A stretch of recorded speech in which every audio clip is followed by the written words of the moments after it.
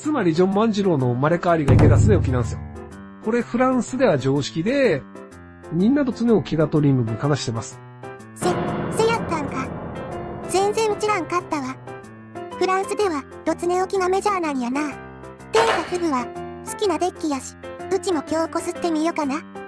むしろ、新人深さが試される出来なので、日本のケツプレイヤーの方がしっくりくるんじゃないですかね。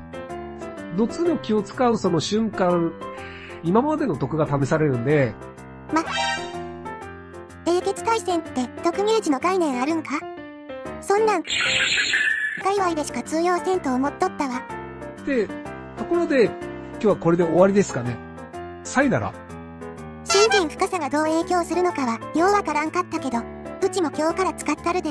最近ドラゴンボールブレイカーズばっかりだったし、リハビリな、テラいろいろ使ったる。うちはやるで。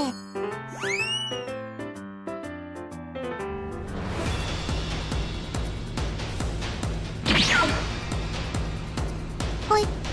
ちゅうことで、早速こすりに来たで。新年一発目のこすり場やな。英傑も対戦相手もセガの OGT も。見てくれるみんなも。今年もよろしくお願いします。ほんでほんで相手は秀吉大久保か。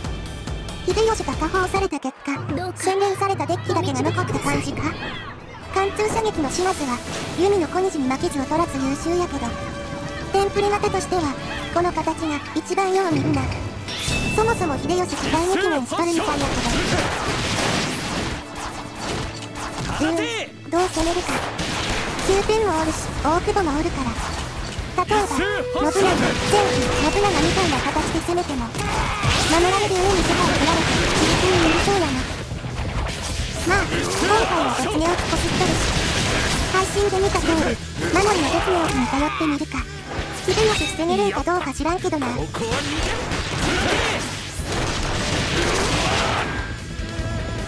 とか言っとるうちに、開幕上地を超えた徐々に、無謀の大和魂。無理はせんことリードできんな。一つの置きで守るにしても、ある程度リードないとどうにもならんし。撃て。千代すまないさすがに無理そうやな。でも、加藤も中央に押し返したし、やっぱ徐々円やな。徐々円。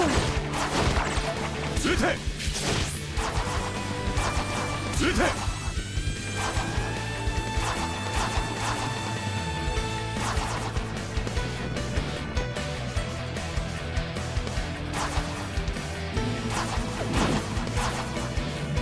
傷の心配はいらん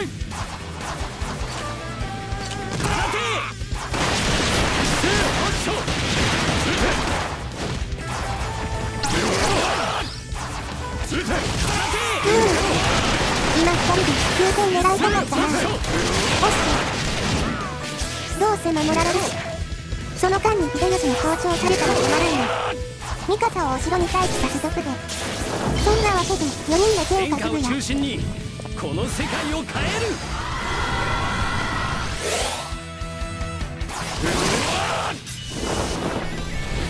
日本が一つにならなければ列国には勝てぬ相手は貫通射撃。天下部だけならこれで守るつもりっぽいな。ってことはリード取れそうやな。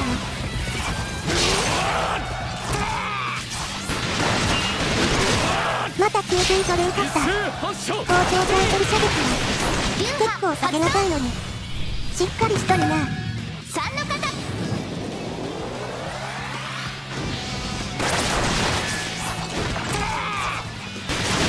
もっとリード欲しいけどここで壊滅すると完璧なタイミングでカウンターもらってまうから帰った風が良さそうやな。ほんまはうちも帰りたくないんやで。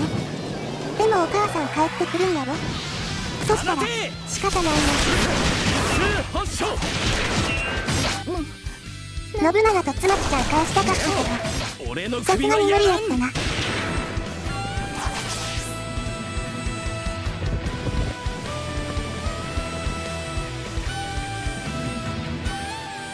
なんか試合の進むスピード速ない時間的には中盤やけど盤面的には中盤ちゃうか？次の攻めで相手は式11使う秀吉やろ。ほんまに大丈夫なんか？ひろゆきほんま大丈夫なんやろな？列国には勝てる。新人ってひろゆきを信じることとちゃうやろな。とりあえず妻木ちゃんが帰ってくるまで時間かけててかこれがアッカーマン一族のやりさばきや。ー一斉発うち射が枕はマンタルで。さて突寝起きの時間やけどこの漢字だと式11というか秀吉からの大久保つなぐ漢字っぽいなそんなん防げるわけないやろ。防いだとして相手が再起。再起やったら負けやんけ。こっちは先につけがどうにもならんのに。式中払って相手が再起しかも特軍再起とかなら目も当てられん新人深さが試される出来のこのことやったんや。ここで特芸時が試されるんや。うおー。言われてい。る。再起やめて、再起やめて、再起やめて、再起やめて、再起やめて、再起やめて、再起やめて、再起やめて、再起やめて、再起やめて。損した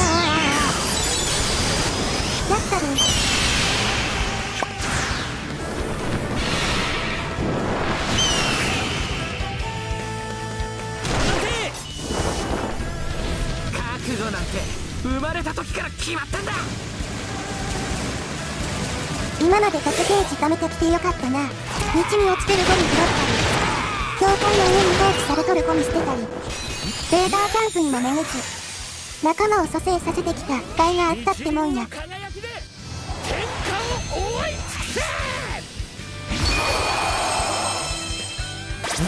再起じゃなかったのはええけど、これ守れるんか？そもそもジョン万次郎ならこれ守れるんか？うちなんも知らんけど、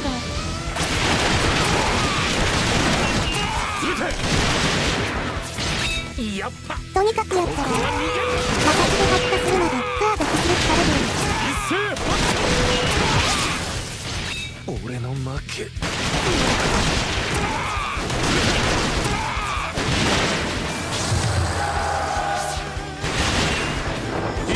あらわわわわわわ初代内務卿大久保利通行く末を見だ通し私が人々のしんがりとなる。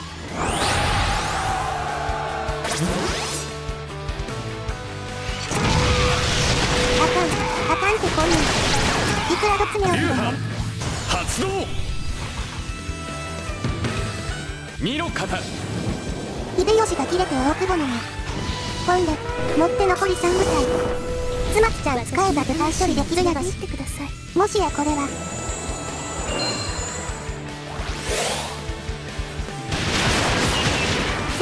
で防衛するよりも殴られた場合を考えてミカから校長向かうで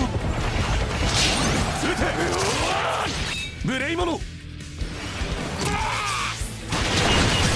れはか勝ったほんまかやり直しか逃げたちゃうやろな無謀の大和魂これがジョン万次郎の生まれ変わり発動陸別寝起きのパワー一の方。疑ってごめんな。うち絶対無理やと思った。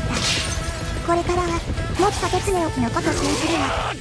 そんなわけで2024年おすすめカードは池田恒起ニーズつまっちゃう。みんなの息抜きに使ってみるとええでコメント欄にアンケート作っといたからみんなのドツネ起き力を投票してってな。ほなな